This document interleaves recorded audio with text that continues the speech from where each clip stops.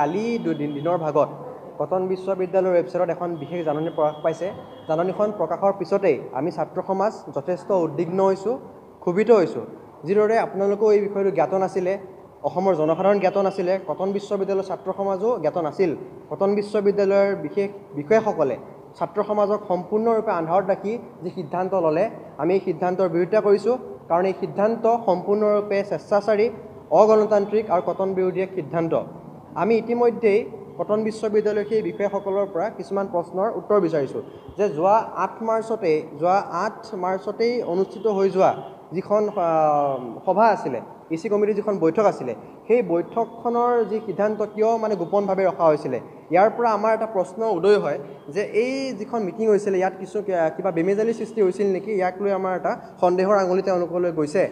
আৰু আমি এটা প্ৰশ্ন তেওঁলোকলৈ ৰাখিছিলোঁ এই বিশেষ নটিছখনত তেওঁলোকে এটা এটা এটা শব্দ মেনশ্যন কৰিছে যে মাষ্টাৰ প্লেন আচলতে মাষ্টাৰ প্লেনটো হয় কি? মাষ্টাৰ প্লেনটো আচলতে আপোনালোকক জনাব বিচাৰিম মাষ্টাৰ প্লেনটো যিকোনো বিশ্ববিদ্যালয়ৰ ক্ষেত্ৰতে যেতিয়া তেওঁ নতুন অৱস্থাত থাকে মাষ্টাৰ প্লেনটো বিশেষকৈ এটা এশ বছৰৰ সপোন থাকে যে কি হ'ব ক'ত কি হ'ব ক'ত কি নাথাকে।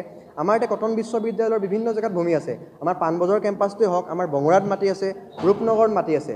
কিন্তু আমাৰ যি আজি আহ, পঞ্জীয়ক মহোদয়ে সংবাদ মাধ্যমৰ আগতো আপোনালোকে কৈছে বুলি কৈছেই যে তেওঁলোকে কিছুমান জেৰক্সৰ দোকানৰ কথা কৈছে বা বিভিন্ন কথা কৈছে। কিন্তু আপোনালোকক জনাওঁ যে সেই যদি জেৰক্সৰ দোকানেই দিব লগা আছিল বা বিভিন্ন সৰু ষ্টলে দিব লগা আছিল ইয়াৰ কাৰণে এই এই কমিটিখনৰ কোনো জৰুৰী নাই নহয়। আপোনালোকক জনাই থওঁ যে এই কথাখিনি এই যিখিনি ৰুম এলটমেণ্টৰ কথা আহি পৰিছে। এই ৰুল এলটমেণ্টখিনিৰ কাৰণে অলৰেডি কটন বিশ্ববিদ্যালয়ত আমাৰ যি প্ৰ' ভাইচ চেঞ্চেলৰ আছে তেওঁৰ নেতৃত্বত এখন কমিটি আছেই তেওঁৱেই আচলতে তেওঁ সেই কমিটিখনেই সিদ্ধান্ত গ্ৰহণ কৰে যে বিশ্ববিদ্যালয়খনৰ কেম্পাছত বা ক্লাছৰুমত কাৰোবাক কিবা দিয়া যাব বা নাযাব এই এই সিদ্ধান্তবোৰ তেওঁলোকে কৰে। কোনো প্ৰয়োজন নাছিল। আচলতে এইটোৱে কি সূচাব বিচাৰিছে? কিন্তু আচৰিত কথাটো হ'ল ছাত্ৰ ছাত্ৰীয়ে গম নোপোৱাকৈ প্ৰাক্তন ছাত্ৰ ছাত্ৰীয়ে হওক বা বৰ্তমান ছাত্ৰ ছাত্ৰীয়ে গম নোপোৱাকৈ আমাক আন্ধাৰত ৰাখি এই যিখন কমিটি বনালে কমিটিখন অত্যন্তই অগণতান্ত্ৰিক। সেয়েহে আমাৰ ছাত্ৰ একতাৰ সভাৰ তৰফৰ পৰা প্ৰথম আৰু মূল দাবীটো হ'ব এই সিদ্ধান্তটো এই জাননীখন অতি সোনকালেই বাতিল কৰিব লাগে উঠাই ল'ব লাগে। আৰু কটনখন বুলি ক'লে আচলতে কটনৰ ছাত্ৰ সমাজ নহয় সমগ্ৰ অসমৰ জনসাধাৰণৰ প্ৰত্যেকজন মানুহৰে আৱেগ জড়িত হৈ আছে। সেইকাৰণে কটনখন জাতীয় সম্পদ আৰু সেইকাৰণে এইটো আমাৰ জাতীয় প্ৰশ্ন বুলি ক'ব লাগিব যে যিকোনো সিদ্ধান্ত লোৱা হৈছে ছাত্ৰ বিৰোধিতা সিদ্ধান্ত লোৱা হৈছে কটন বিৰোধিতা সিদ্ধান্ত লোৱা হৈছে এটা স্বেচ্ছাচাৰী সিদ্ধান্ত লোৱা হৈছে এনেকুৱা একো সিদ্ধান্তই হ'ব নোৱাৰে য'ত ছাত্ৰ ছাত্ৰীয়ে গম নাপায় ছাত্ৰ ছাত্ৰীৰ মত মত নোলোৱাকৈ লোৱা সিদ্ধান্ত আমি মানি লোৱা নহয়। সেইকাৰণে আমাৰ বিৰোধিতা আছে।